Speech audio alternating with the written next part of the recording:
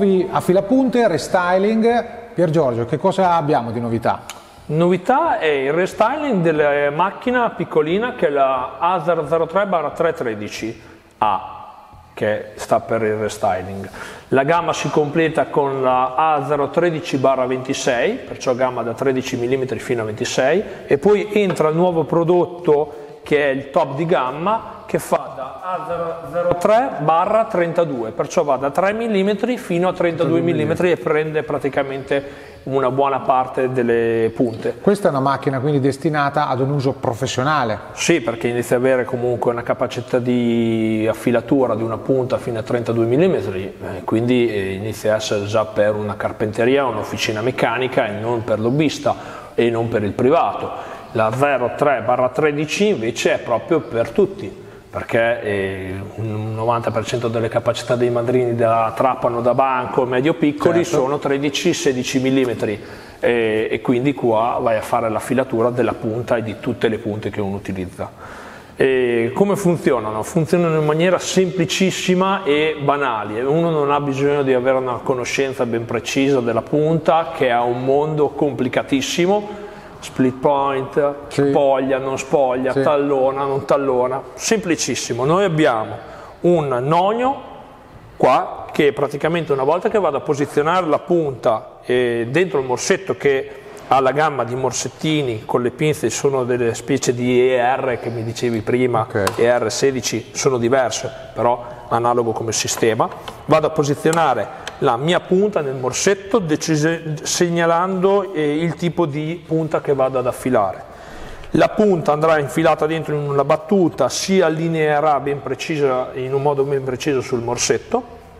Strinto il morsetto non vado a fare altro che infilare il morsetto all'interno di un suo alloggio, iniziare a ruotare per una piccola inclinazione che praticamente è l'elica della punta, punta. e la spoglia, vado a fare la filatura, tolgo il mandrino, lo giro di 180 gradi, perciò vado a lavorare sull'altra faccia e vado a fare la filatura anche dell'altra parte della punta. Ok, quindi ha praticamente una precisione, eh, diciamo, il, il, il, foro combacia perfettamente, quindi è impossibile che possa La punta è perfettamente allineata, allineata, perché è strinta cilindricamente dalla okay. pinza vado a inserirmi, mi vado ad appoggiare su una eh, mola in CBN oppure c'è anche la possibilità di averlo in un altro materiale che adesso non mi ricordo, dovrei prendere il catalogo e ti permette di affilare anche le, le punte in metallo duro. Ah, Perciò okay. queste qua con la mola che c'è in dotazione che è una CBN affili tutte le HSS che sia la... al cobalto, al tin, rivestita, non rivestita però l'HSS. Okay.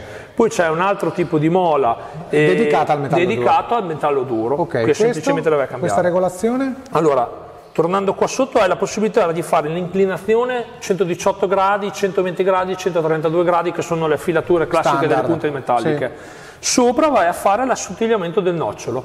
Quando fai la filatura delle eliche noi abbiamo l'elica destra e l'elica sinistra, al centro si crea un nocciolo, sì. si dice o anche il centrino.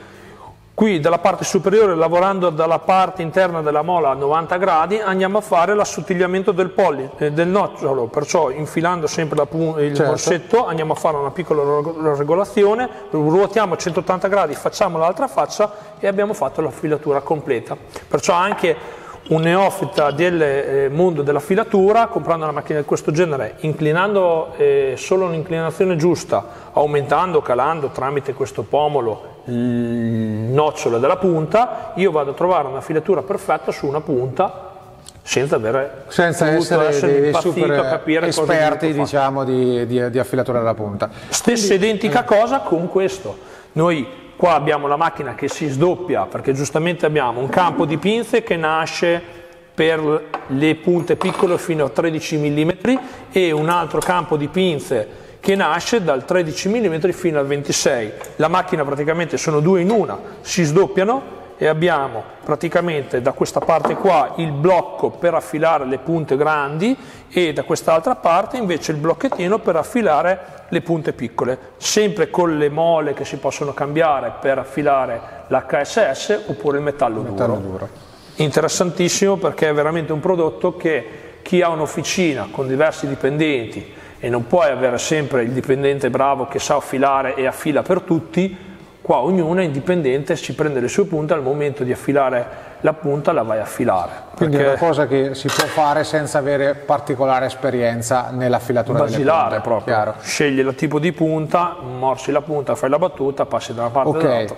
Quindi e mi dicevi che le pinze assomigliano alle pinze R ma non sono pinze R, non ma sono, sono pinze ER40, dedicate sono pinze che dedicate. comunque abbiamo come ricambi. Abbiamo come ricambi, come ricambi abbiamo le mole, Ok. che si consumano, sono un materiale di consumo, Certo. le mole e le, le pinze, come mi chiedevi, il morsetto, perché capita che si può perdere anche quello, però del resto la macchina è molto semplice. Perfetto, ti ringrazio. Mancherebbe, grazie a voi.